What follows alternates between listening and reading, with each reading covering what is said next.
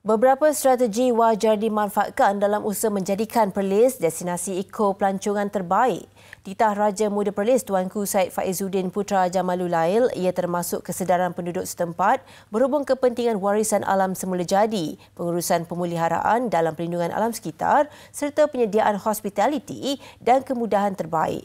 Penggunaan teknologi terkini juga perlu dipergiatkan dengan promosi dalam media sosial yang menjadi rujukan dan sumber orang ramai.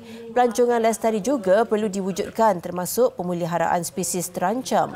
Tuanku Said Faizuddin berkenan berangkat meninjau Gua Bukit Ngulang semalam selain berkenan merasmikan projek peningkatan sosioekonomi asnaf Majlis Agama Islam dan Adat Istiadat Melayu Perlis MAIPS.